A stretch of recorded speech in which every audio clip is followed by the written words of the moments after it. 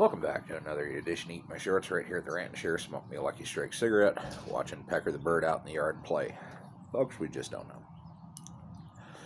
So, as I often do, when I sort out breakfast and take care of mom and do my chores, I uh, sit down and watch a movie. Because why the fuck not, right? Sorry, my nose is running.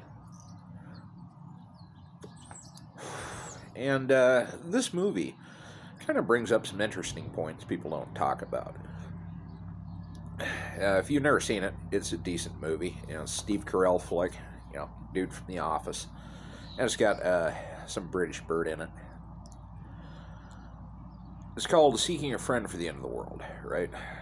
And kind of brings up some interesting ideas. Number one, would you want to know the time and place the world dies? Number two, would you stay at work?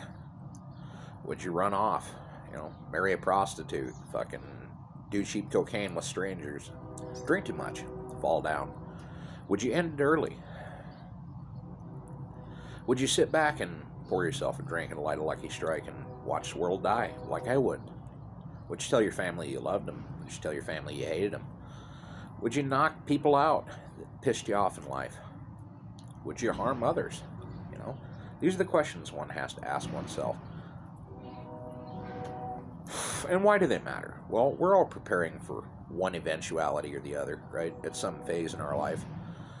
You know, my problem was a lot of died suddenly and then life fell apart.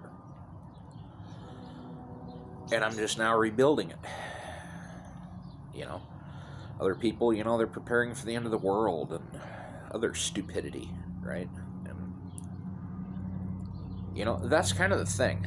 Is, you know, sure, an asteroid might hit. They might name it Matilda, even, you know, like in the movie. But at the end of the day, we're all left to our own devices. We all have a time clock, if you will, an expiration date. Some of us are all too familiar with that, right? Death claims us all in the end. Much like the noisy goddamn freight train and the trash truck running around. But mom asking stupid questions. Some things are just certain in life. We're all going to die, but have we ever truly lived? I have. I even had quite a bit of fun when I was a young man, if you believed it or not.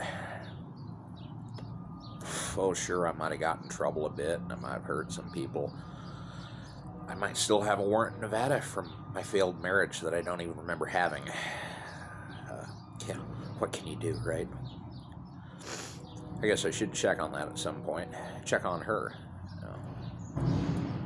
I guess strippers get quite angry when you get them pregnant and run off out of town. And, uh, you know, shit happens, right? But would you let Hoppy Easter Bunny come out to play, right? Even though you shouldn't give him keys to your bulldozer, and you should spray your vodka with Easter Bunny repellent, you know, because Hop's a bastard much like the noisy damn trash truck. But these are the questions real men ask, you know? Do you just sit back and watch the world die, or do you go out and have yourself a good time? The answer can be all of the above. Hey, I'm not going to judge you here. Point is, you have today. And some of you might not even have all of today, and that's fine. Make the most of it. Make your life matter. Make yourself mean something because eventually the world's going to die, and so are we. And uh, the choice is really ours what the fuck we do with it. Life's a choose your own adventure, man.